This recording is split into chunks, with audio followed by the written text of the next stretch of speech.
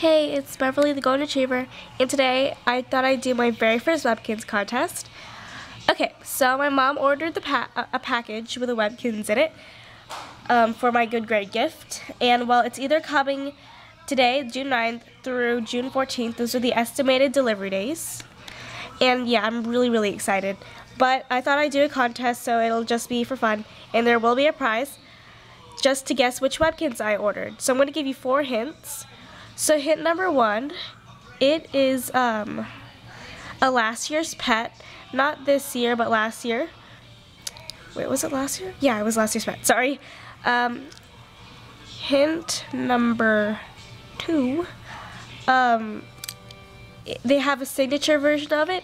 Like, you know, um, Webkinz has like a signature blah blah blah, but it has a normal blah blah blah.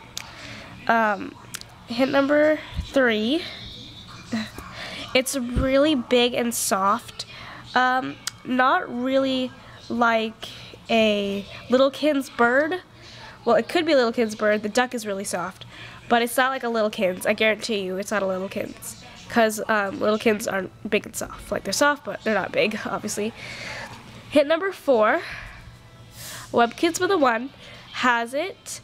And she's made two or three videos with it. Not that much, but she has two or three videos with that Webkinz. Um, so yeah, I hope those are really good hints. So just comment below which Webkinz you think it is.